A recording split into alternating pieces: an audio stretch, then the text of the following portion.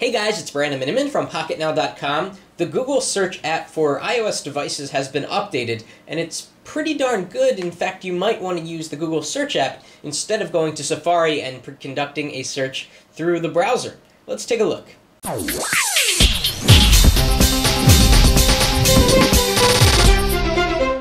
So typically, if you want to do a search on an iOS device and you're not running the Google Search app, you go into Safari, sure.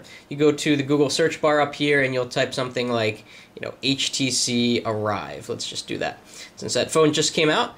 And of course, we get our suggestions as we type, and then we'll go to a page which is formatted very nicely for the iPhone, but it's still not like an application. And we can go into images, we can go into places, and so on and so forth formatted very nicely, no complaints here. But Google has finally updated their their app for iOS uh, to the point where it's much better, a much better experience than what you get just in the browser alone. So let's do the same thing there. Well, we're going to type HTC Arrive. I've already done that.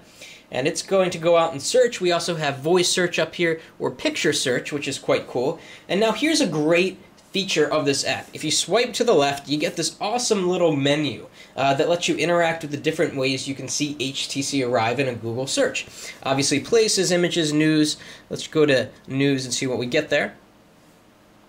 Okay, so we get some news of there. We can go in the bottom right corner and open that in Safari or share it via email. Uh, from here, we can swipe again, and let's go to images this time.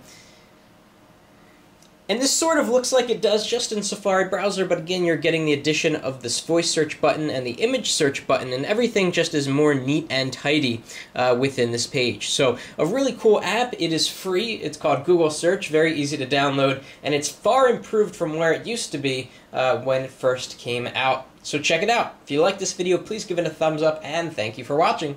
That's it for now.